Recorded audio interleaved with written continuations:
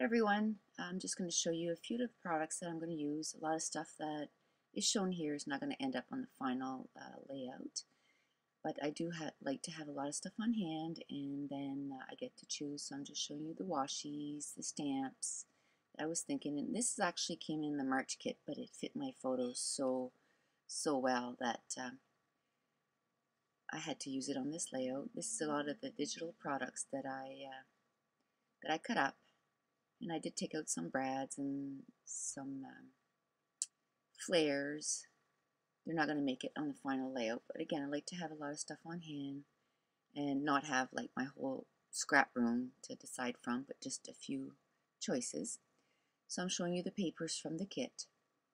And um, I like to start off with some scraps from the previous pages and then add some new pages so that by the, by the time I'm done working with the kit, all I have left is literally scraps. And uh, then I feel like I've used, I've used my kit well. It's done me well.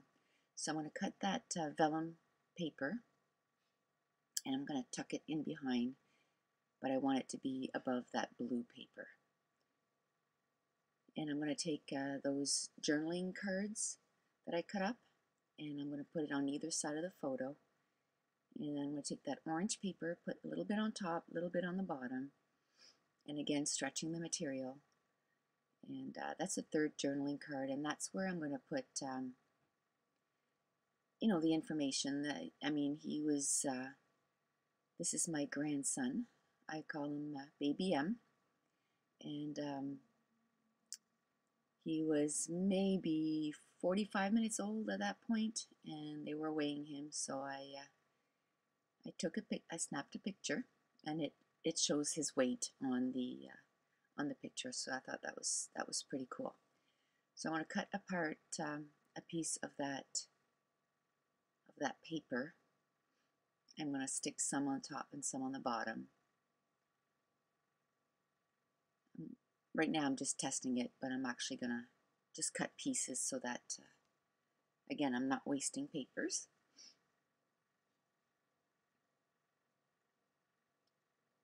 So I had a lot of stuff uh, going horizontally here, so I want to make sure I had, you know, as equal going uh, vertically. And uh, I'm going to start laying out the die cuts, seeing which ones I like. And a lot of times, a lot of them, a lot of it doesn't end up on the final layout, but at least it gives me something to, to start with. I want to bring um, some of that orange over to the right side of the page.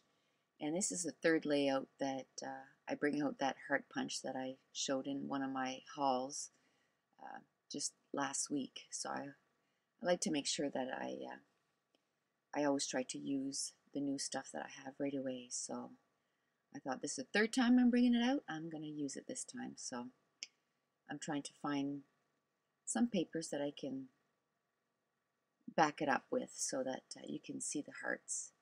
So it's going to take me uh, a few minutes to, to find a page that, uh, that I like. So right now I'm going through my papers, trying to see.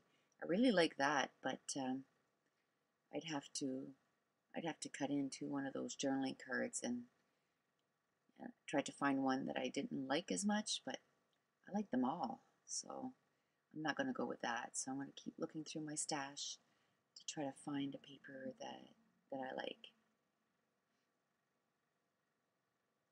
So I was thinking about that, uh, that paper, and I'm glad I didn't because the next layout that I'm going to do is, is going to be using that grid paper. So I'm going to go with that cloud paper, and I figured that paper I was going to cut up anyway, so it didn't bothering me as much to uh, to cut out a few circles out of it. So I'm going to use that as the as the backing. I'm only going to end up using one on my page, but I put the other one away and I'll use it on another page.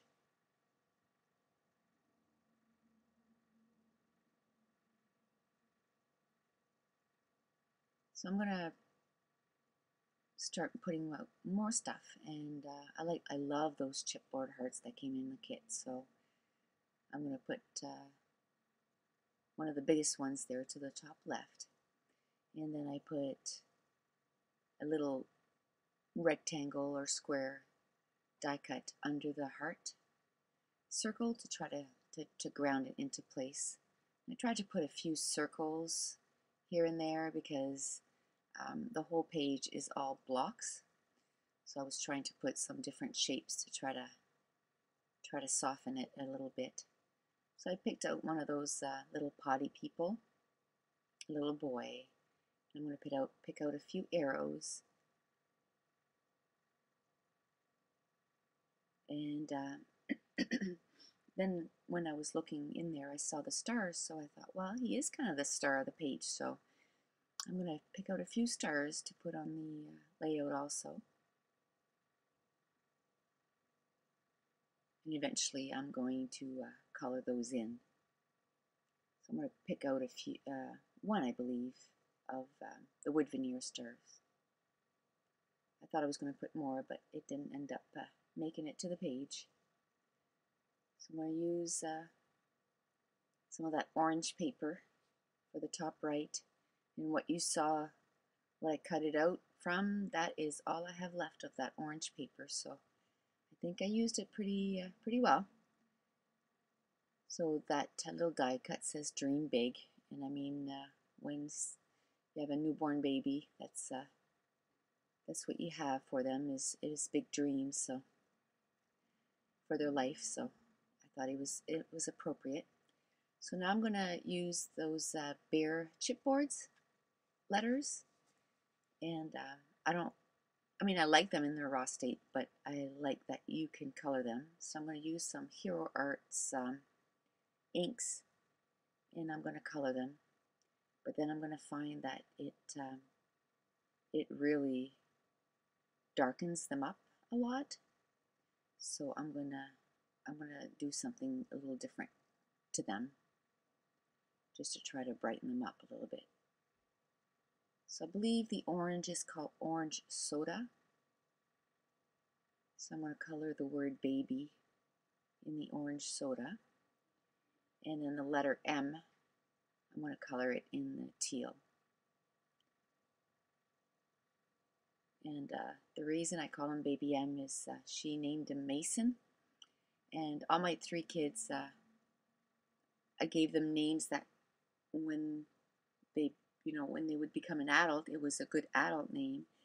But um, when they were kids, you could make it a kitty name. Like my son's name is Joshua, so we we still call him Joshy to this name to this day. And my other daughter's name is Caitlin, and we call her Katie, and Jessica, we call her Jessie.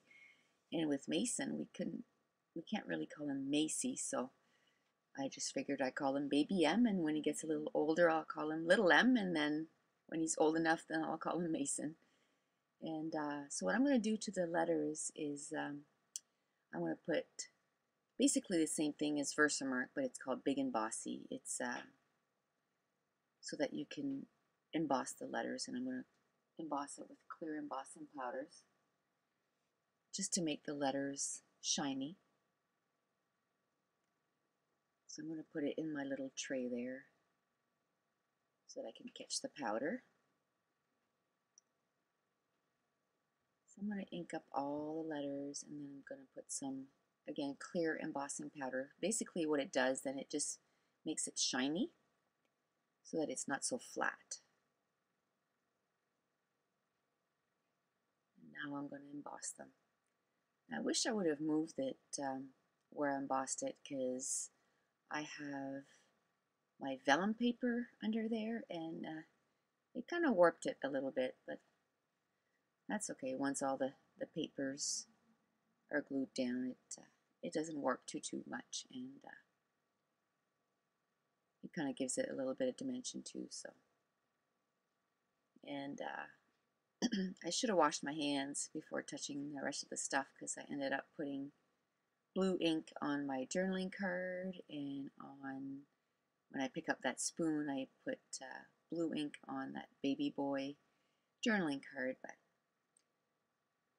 I mean you can't be too too fussy that's what I like about scrapbooking is that it's not a a perfect. I don't get too too fussy because it would drive me drive me crazy. So, I mean, I do like it to be nice, but I don't. I won't rip something up just because it has a little bit of ink on it because it's part of it's part of the process. And I'm going to put my letters away. And now I'm going to take out the, it's a Technique Tuesday stamp, and it's the baby one. And uh, it says, hello, sweet baby. So I'm going to take that one out. And there's another one too that says baby. So I'm going to put it where it says boy. I'm going to make it say baby boy. So he was born um, just February of this year, so February 1st. So it's uh, it's all new to me, and actually, uh, he's he's the reason that I that I'm sick because um, the poor little guy on February 22nd he uh, he ended up in the hospital. Um, he had bronchitis and uh, also developed an RSV, which is which which is actually quite dangerous for a baby his age because they can't they can't get rid of the mucus as, as well as you know a kid that's older because they, they can't cough. So he was admitted in the hospital for for five days. So they live about two and a half hours away from where I am. So I drove up and uh, and stayed for for four days so that I could uh, give my daughter a break because she got it from him, so she was sick and uh, at the hospital taking care of him. So I went for a few days to help her out, and uh, of course he was sneezing and coughing in my face. So, and I think in the whole week I slept uh, 13 hours. So when I got home, I uh, I started getting sick myself. But I mean, he was worth it. And uh, they're coming over next week for two or three weeks, so that'll be that'll be fun to uh, to have them over. And uh, this summer we're planning on building, and uh, they're going to move in with us. So I'm really looking forward to that because I really miss him. He's such a sweetie. So now I'm gonna. I chose a few buttons that uh, I'm gonna add to the layout. So at this point, I'm feeling pretty good with uh, what I have planned, so I'm going to start gluing. So again, I don't want to waste too much of that paper. I mean, it's one of my uh, favorite papers, so I'm going to cut it into thirds so that I have a piece left for another layout. So I'm going to start laying everything out and I'm going to start gluing down. So I'm going to use my, my favorite, favorite uh, wet glue. It's the uh, Quick Dry Adhesive from Scotch and uh, I like it so much that I always have. Um, I think right now I have six bottles on hand because I go through quite a bit. Um, I scrapbook every day. I mean, with uh, with my job, I do shift work, so I work four days on, five days off, and uh, so every day, even the days that I work, I might not be able to do much. I do maybe maybe 20 minutes, half an hour, but I still come up in my craft room. And even if it's just planning a new layout, uh, I'll do that. And uh, uh, I do have uh, a stressful job, so this is this is my uh, this is my stress relief. I love scrapbooking, so I've been scrapbooking. My son is 13 and a half, and I started while I was pregnant with him, so it's been about 14 and a half years or 14 years, sorry. And uh, I've accumulated quite a bit of stuff over the years, and uh, but I do use my I do use my supply. I'm having one hard time with that roll of with ATG tape. I can't wait for it to be done. I've never had so much trouble with a roll before. I mean, I've been using it's sort of a knockoff ATG, and I've never had problems with that with that tape before. I mean, it's quite a bit cheaper. I only pay about $1.75 a roll. So I, I don't mind that it's not the white roll, but this is the first time that I have, I'm having, it keeps curling up. So I don't know if the inside is broken, so it does, it's not staying the way it's supposed to. But anyway, I go through a, a roll in less than a week, so it'll be gone soon. So I'm going to use that um, that washi tape. Actually, I think that's from the February kit, but again, I'm not too concerned which kit. As long as I get my photos into the album, I don't mind that I go over. I mean, I'm still working on my January kit and I just received my March kit on Friday, so, but I don't mind. I, my main thing is that I use up my kits and uh, that I get my photos into the album. So, and this month has been a, a, a long month. Uh, I mean, my little grandson was, my son was sick for a week, then my grandson was sick for a week, and then I was sick for a week. So, I, uh, I usually get about 25, 30 pages done in a month, but uh, I think I got, this is page number nine or 10, so it did make quite a bit of difference, but I mean, I'll, I'll get it done. So now I'm going to start gluing more of those die cuts down. And that's where I'm going to put all the information like um, the date he was born, the time, the weight, the length, the hospital that he was born in, so that uh, we're going to have that information for for years to come. So this is this is actually the second second page that uh, is going to go into his uh, baby album. I also got the uh, Project Life baby album. So that's going to be separate because that's going to be like more weekly and and um, you know his weight that week and how much he's eating and his sleeping pattern and and all that stuff. So I got to get started on that too. Um, and I want to do Project Life for my family too this year. So um, I'm keeping up on, well, pretty good on the, the journaling part and, and taking the photos. I mean, I'm not really consistent with, you know, you taking seven photos in a week, and I'm not too concerned about that. Um, as long as I have a few photos during the week, and then I can just kind of generally say what kind of week that we had.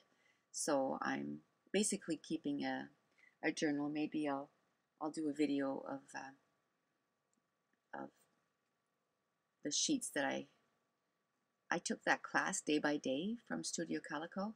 So they had some sheets that they had for us to, to print out. So I printed those up. But I, I kind of went off on a little rabbit trail there. But uh, uh, so there I uh, inked up the heart with that teal color again.